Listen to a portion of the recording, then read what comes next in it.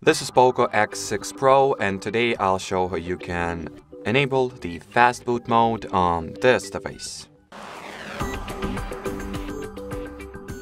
So first you will need to enter the recovery mode on your phone. So in order to do that you, you gotta switch it off first. So simultaneously hold or I mean press the volume up and power keys and slide the circle to the power off option.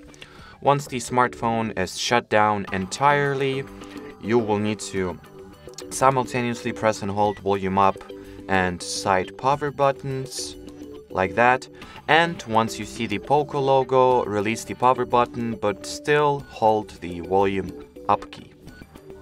And hold it until you will see a recovery menu or main menu.